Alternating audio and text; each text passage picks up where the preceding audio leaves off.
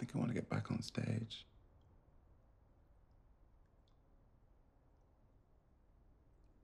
Yeah. Yeah, I.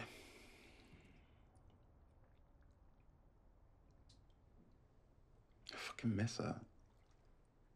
Aphrodite. yes. Oh, I, I miss her too. No, no, she was, she was just so, she was so powerful. Sometimes it was confusing. It was like, it was like, like she was the real me, and and I was the performance. And after, after you know.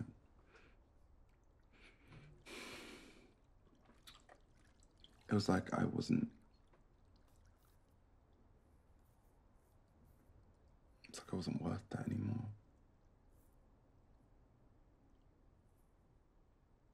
I could let her down. You didn't let anyone down, babe.